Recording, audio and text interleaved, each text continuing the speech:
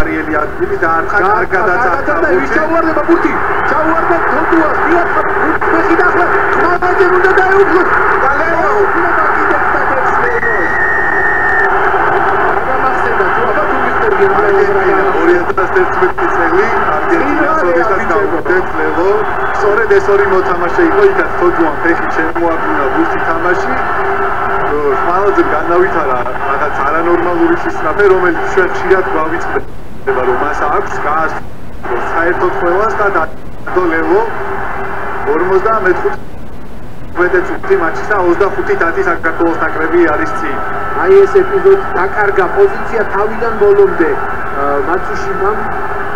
შემდეგ თოდუას თამაში კი ცდილობდა დაებლოკა, მაგრამ უკვე მაგას მნიშვნელობა აღარ ჰქონდა, რადგანაც ხმალაძე მივინა როგორც არგმა უკანა ხაზელმა ჩაიგდო გუთი ხელში და საერთოდ ვეღარავინ შეუშლიდა. აი აქ ერთი ფეხით თამაში ბუხლითან ფეხბურთის მცირე ელემენტი ჩართო ამ საქმეში, რომელიც